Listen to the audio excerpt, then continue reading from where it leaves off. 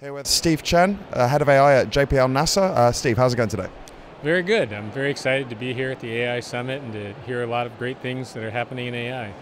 Yeah, fantastic. So you've just come off stage at your keynote a couple hours ago. How, can you tell me a little bit about it and what you're trying to really communicate to the audience? Well, that AI is really being used all across the space exploration enterprise. Everything from uh, making the spacecraft smarter to analyzing the huge data sets on the ground and then to operating things like the communications antennas that we need to talk to the spacecraft. Yeah. Um, so like a lot of the AI systems using space, right? I mean, I imagine they exhibit kind of a lot of autonomy and there's there is more of a degree of, you know, you can't control everything all the time. Um, what can you kind of can you kind of speak to that in terms of what what could kind of these business enterprises learn in terms of implementing something that's actually autonomous? Well, there's there's one aspect which is a direct uh, relationship. There's a lot of business to be done in autonomous systems. So uh, if people want to, let's say, drill for oil underneath the ocean or or monitor their pipeline operations, it requires the same kind of autonomous operations and, and autonomous robotics that, that we're talking about, uh, that we routinely develop at NASA. But there's also transfer at a more abstract level. So NASA has immense amounts of data that we have to sift through uh, for scientific purposes and understand that data. And that's exactly the same thing that many companies are doing. They're, they're dealing with the fact that there's this explosion of data and trying to figure out how to make it a routine process to understand that data and exploit that data to their commercial advantage. It's just that we're trying to do it for more scientific purposes. So there's a lot of uh, crossover just in uh, areas like that. Sure, sure. And um, your keynote was was entitled uh, "AI and the Search for Life Beyond Earth." Um, can you talk to me a little bit about all that data you guys are sifting through, and um, you know, why why is it so important to kind of space exploration? Well, the the entire purpose of space exploration, from our perspective, is to advance science, and so the data is really uh, the prize for sending a spacecraft. So we send a spacecraft to Mars not for the sole purpose of sending the spacecraft to Mars, but to learn more about what Mars is like.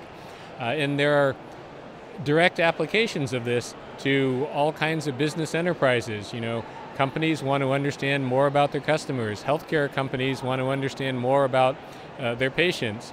Uh, different um, commercial vendors, you know, in, in retail, want to know more about their customers and want to anticipate the customers' wishes so that they can, you know, support their business uh, more more accurately, more more quickly. And so these are all the same kinds of things that uh, that we've done that we do work on at JPL.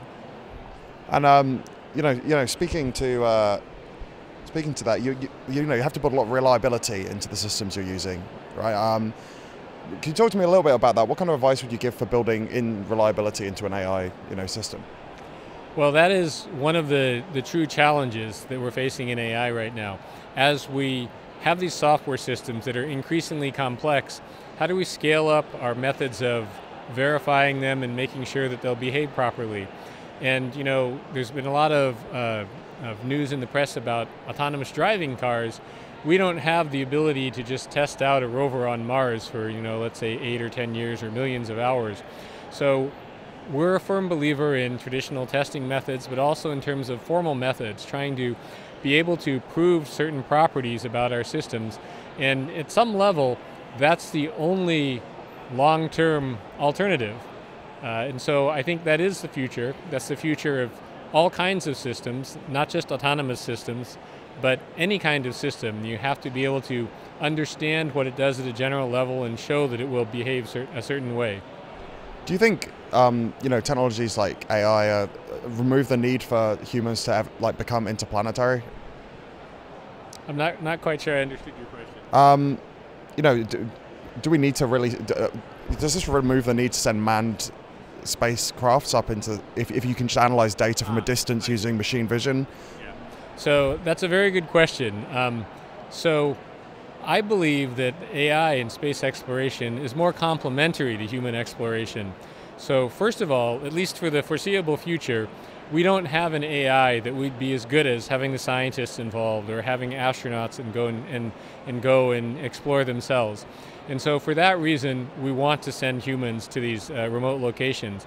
But we want to send robots first because it's very expensive to send humans. So we want to learn everything we can with robots and then later on send humans. But even when the humans are there, they'll need robots because we don't want the humans spending their time on this mundane uh, keeping, you know, keeping the plumbing running and everything. We want the humans to be focusing on the truly intellectual tasks and we want to relieve them from getting stuck in the mud of the day-to-day operations of the space station or the Mars habitat or whatever it is.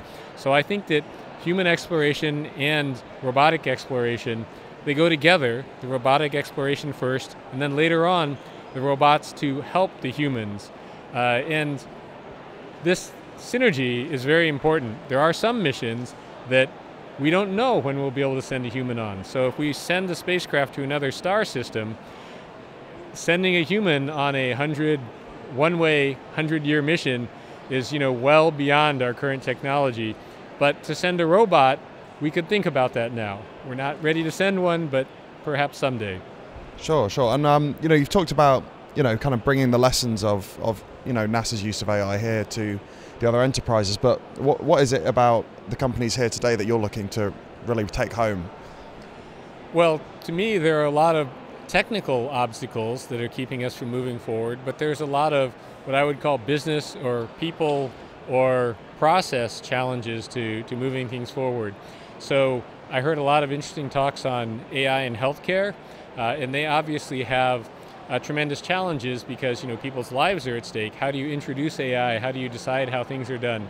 So this gets back to you know a question you raised earlier about how do we make sure that the rover does the right thing? Well, it's pretty important when it's a $2 billion rover. It's pretty important when it's someone's human life at stake. And so how you interject, how you infuse the AI into your overall process, those are sort of very similar questions. And so there, there are things about understanding the whole process, understanding AI in the context of the overall system, and also understanding the culture, the culture of the doctors versus the culture of spacecraft operations. These are all things that are lessons across uh, these different disciplines. What, what are the challenges of kind of building in, I guess, I guess, explainability and accountability, if, if, if especially in like you know mission critical, kind of life threatening situations. You know what? How, how do you how do you see like a way of overcoming those? So this topic of explainability is one of the true challenges to AI right now. Uh, and most people talk about it in the context of machine learning, but my work is more on the side of model-driven AI.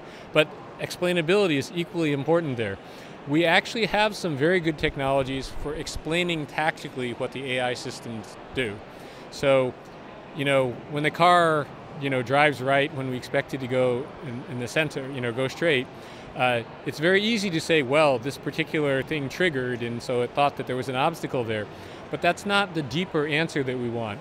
And what's the challenge to AI is to be able to explain like a human expert would explain. So the human expert doesn't say, well, this line of code triggered and then this line of code triggered. He said, you know, there's this general class of white objects that we didn't really consider might be traveling at this trajectory, and so we need to reconsider our design in light of that. And that is the challenge, the current challenge with AI, to explain at what we would call the strategic level. And this comes up a lot in, in uh, space exploration in terms of science planning.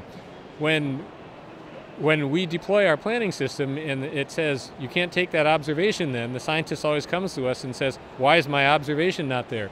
And we can say, oh, it's because you know, the sun angle is wrong, the illumination is wrong for your observation, but that's not the real answer we want. The real answer is, well, it's and because of these other observations, and if we change the trajectory this way, then we can get your observation, or we can take it at this other time. And so that's the next level of explanation that we need to get to. Definitely. Well, Steve, thanks for talking to me today. Good to have you here. Thank you very much.